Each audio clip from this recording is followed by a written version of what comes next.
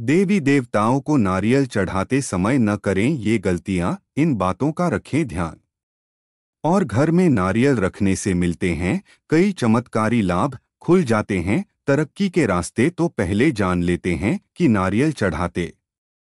समय क्या गलतियाँ नहीं करनी चाहिए, और उसके बाद में जानेंगे कि नारियल घर में रखने से क्या फ़ायदा होता है। नारियल तो हम सब मंदिर में जाकर चढ़ाते ही हैं, लेकिन हम बहुत सारी ऐसी गलतियाँ कर देते हैं। हमारे को पता नहीं होता है तो आज इस वीडियो हमें हम यही जानेंगे कि नारियल किस तरीके से भगवान को अर्पित करना चाहिए और नारियल घर में रखने से क्या क्या फ़ायदे होते हैं।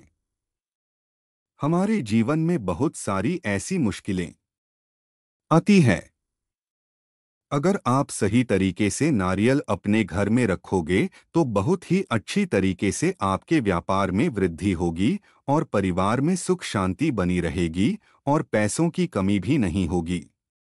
आर्थिक तंगी दूर हो जाएगी। तो इस वीडियो को आप अंत तक ज़रूर देखना तो आपको बिल्कुल समझ में आ जाएगा तो चलिए शुरू करते हैं। दोस्तों, अगर आपको वीडियो पसंद आए तो कमेंट में जय माँ लक्ष्मी ज़रूर लिखना। हिंदू धर्म में नारियल का विशेष महत्व माना गया है। धार्मिक अनुष्ठानों जैसे हवन पूजा पाठ आदि में नारियल का विशेष रूप से इस्तेमाल किया जाता है। नारियल को श्रीफल भी कहा जाता है, क्योंकि इसमें माँ लक्ष्मी का वास माना गया है। इसके साथ ही नारियल में त्रिदेव यानी भगवान ब्रह्मा, विष्णु और महेश का भी वास माना गया है।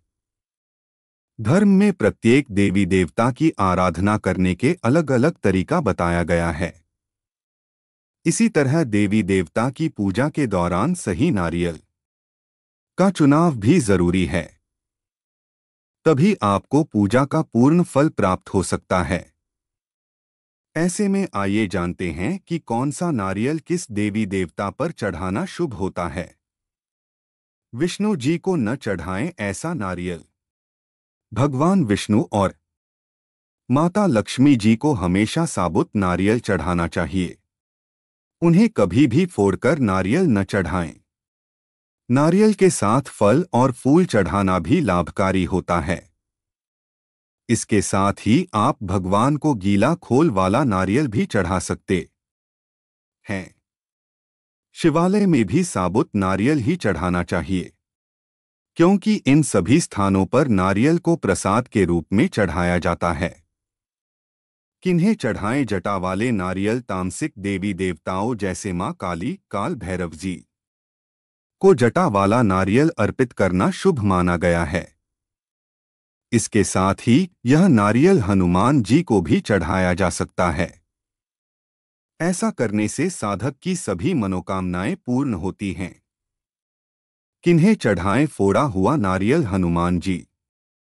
काल भैरव और माता रानी के मंदिर में नारियल चढ़ाते समय इस बात का ध्यान रखें कि हमेशा नारियल को फोड़कर चढ़ाएँ, इन बातों का रखें ध्यान।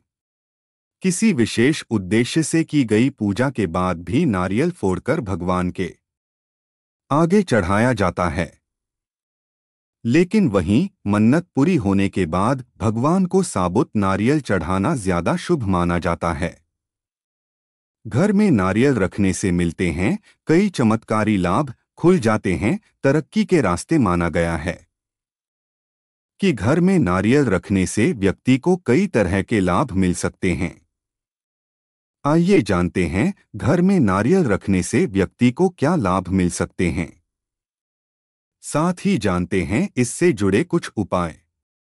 घर में नारियल रखने के लाभ। माना जाता है कि जिस घर में पूजा स्थल पर लघु नारियल या श्रीफल रखा जाता है, उस घर में धन की देवी माँ लक्ष्मी का वास बना रहता है। जिससे घर में बरकत और खुशहाली आती है। मिलेगा व्यापार में लाभ। गुरुवार के दिन एक नारियल लेकर उसे एक पीले वस्त्र में रखें और एक जनेऊ में इसे लपेट दें। इसके बाद इस नारियल को पीली मिठाई के साथ किसी विष्णु मंदिर में अर्पित कर दें। इस उपाय को करने से व्यक्ति के लिए व्यापार में लाभ के योग बनने लगते हैं। दूर होती है पैसों की समस्या। घर में पूजा के नारियल को रखने से व्यक्ति की आर्थिक समस्याएँ दूर हो सकती हैं।